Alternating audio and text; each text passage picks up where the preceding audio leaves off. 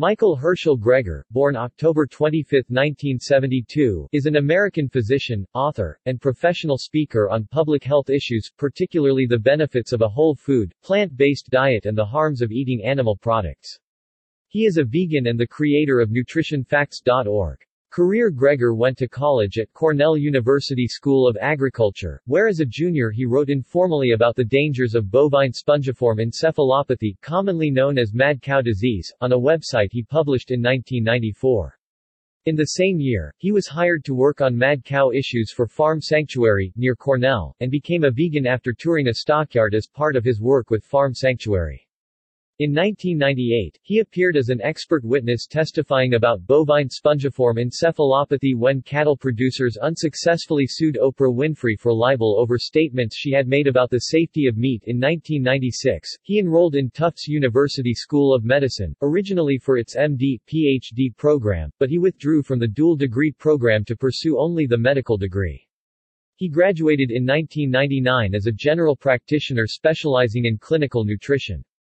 In 2001, he joined Organic Consumers Association to work on mad cow issues, on which he spoke widely as cases of mad cow appeared in the US and Canada, calling mad cow the plague of the 21st century. In 2004, he launched a website and published a book critical of the Atkins diet and other low-carb diets. In 2004, the American College of Lifestyle Medicine was formed in Loma Linda, and Greger was a founding member as one of the first hundred people to join the organization. In 2005, he joined the Farm Animal Welfare Division of the Humane Society as Director of Public Health and Animal Agriculture.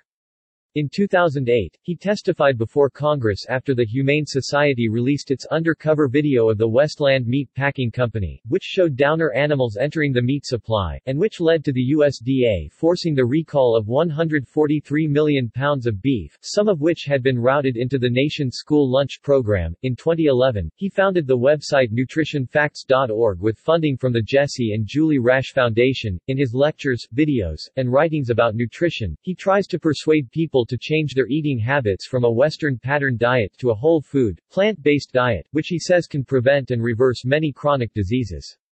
He is critical of some other doctors for not encouraging their patients to adopt plant-based diets and to avoid animal-based products and criticizes the U.S. government for giving watered-down advice about healthy eating in its guidelines, in order to protect the economic interests of food producers, especially those who make junk food and animal-based food. Retired physician Harriet A. Hall, who is known as a skeptic in the medical community, has written that, while it is well accepted that it is more healthy to eat a plant-based diet than a typical Western diet, Greger often overstates the known benefits of such a diet as well as the harm caused by eating animal products. For example, in a talk, he claimed that a single meal rich in animal products can cripple one's arteries, and he sometimes does not discuss evidence that contradicts his strong claims.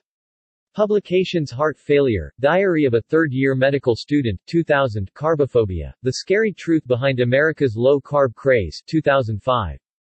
Bird Flu, A Virus of Our Own Hatching 2007, How Not to Die, Discover the Foods Scientifically Proven to Prevent and Reverse Disease hardcover 2015, with Gene Stone ISBN 12500066115 The How Not to Die Cookbook, 100-plus recipes to help prevent and reverse disease with Gene Stone and Robin Robertson hardcover 2018, ISBN 1250127,760 1969 bird flu, a virus of our own hatching received a favorable review which said it was interesting and informative to both scientists and lay persons, but public health expert David Sencer was critical of the book, writing that it focuses heavily on doomsday scenarios and offers little in terms of practical advice to the public and that a professional audience would quickly put the book aside for more factually correct sources of information. How Not to Die made the New York Times bestseller lists at least three times. References External links Media related to Michael Greger at Wikimedia Commons official website Nutrition Facts. Org.